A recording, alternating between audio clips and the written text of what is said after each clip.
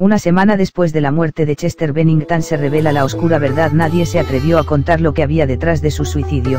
Incluso su esposa rompió el silencio el pasado 20 de julio. El mundo de la música se vistió de luto con la muerte del vocalista de Linkin Park, Chester Bennington, luego de que autoridades reportaran que se había suicidado a los 41 años, pues lo encontraron sin vida en su residencia de Palos Verdes y States, en Los Ángeles.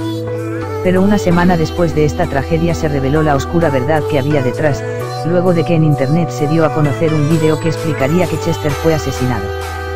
Todo se remonta a su infancia, donde fue abusado sexualmente, pero eso no fue todo sobre los misterios alrededor de la muerte del cantante, y aseguran que personas que controlan el mundo están relacionadas a su muerte. Resulta que Chester supuestamente así como Chris Cornell, sabían de un secreto mayor que estaban por contarle al mundo, y es que ambos tenían una lista de personas poderosas, políticos, famosos, ligados a la pedofilia. Chris y Chester planeaban abrirle los ojos a todos, pero esta teoría de conspiración sugiere que los amenazaron y asesinaron.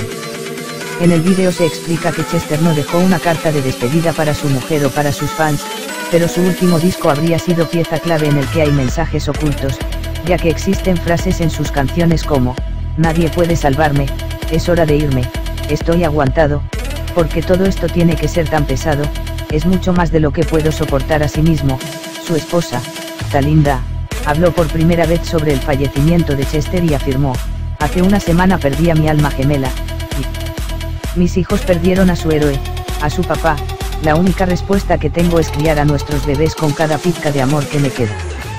Quiero que mi comunidad y los fans de todo el mundo sepan que recibimos su amor. También sentimos su pérdida. Mis bebés están muy pequeños para haber perdido a su padre.